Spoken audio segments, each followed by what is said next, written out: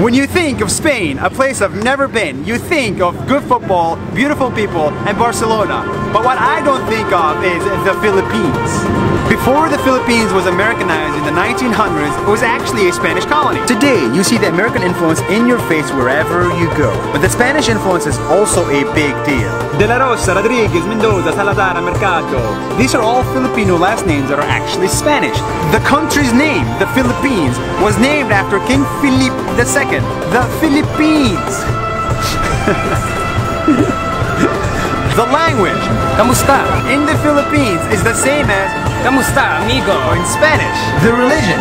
Every hotel room in the Philippines has a Bible because the majority of this country is Catholic Christian in Asia. Colonization as we know it might be over, but its influence is always there if you look hard enough for it. That's one minute. See you mañana.